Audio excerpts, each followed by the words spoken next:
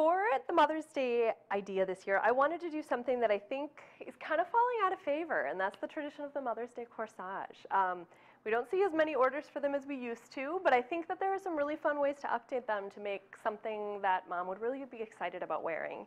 And what we're doing with this look is we're incorporating this brooch, which actually happened to be my grandma's, so this one's vintage.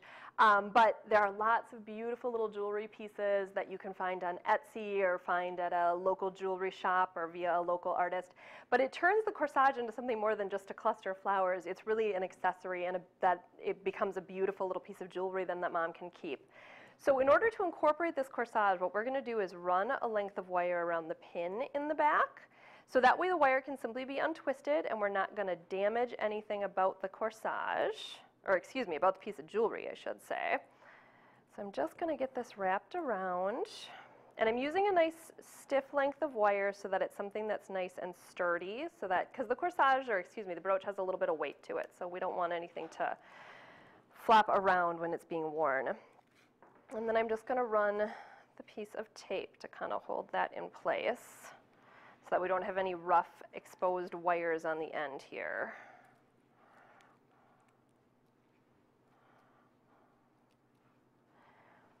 All right, and then we're going to pair this with a flower that's very traditional but that I still think is so sophisticated, and that's the Cymbidium orchids.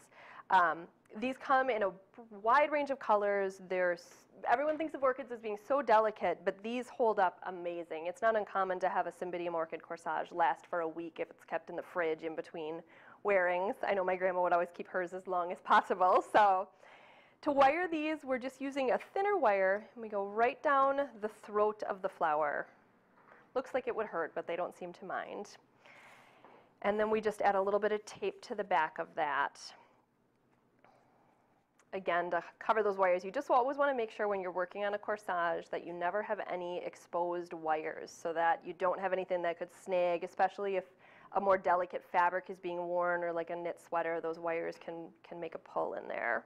So we're going to wire up just a couple more of these.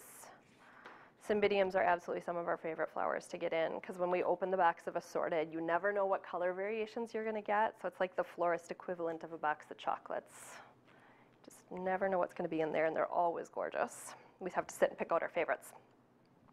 So here is my last one. And rather than using a big traditional fluffy bow, I wanted to keep this a little more sleeker and something that would feel a little more sophisticated. So we're just going to do a simple little bow of ribbon at the very end. All right. So we've got our Cymbids, and we're just going to pair them together. And you always want to think about this being more vertical so that it doesn't get too wide or round. Vertical is more slimming looking, so it always looks a little more flattering. And we just use the tape to hold them together.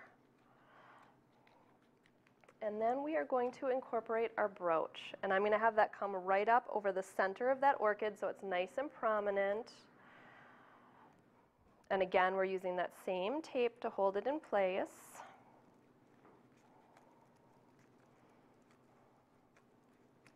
And then we're going to finish with this last orchid down in front just to kind of, so we're just going to see a little peek of that rhinestone coming up over the backside.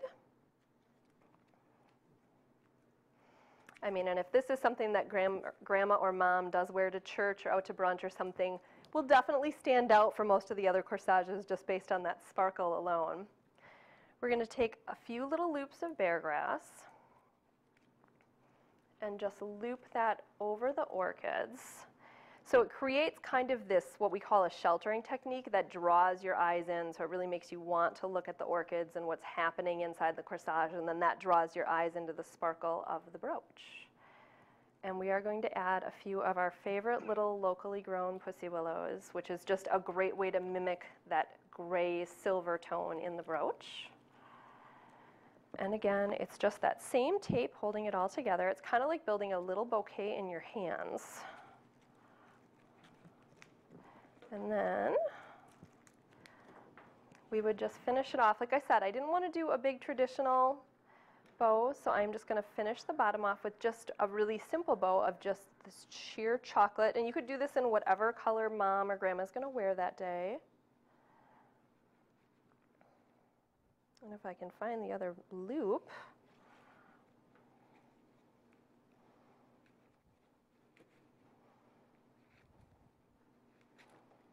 So you've just got the little loops and the tails coming down, and you can leave these longer, which I think is kind of pretty, or you can shorten them up. And then we just cut out all the ends of our stems.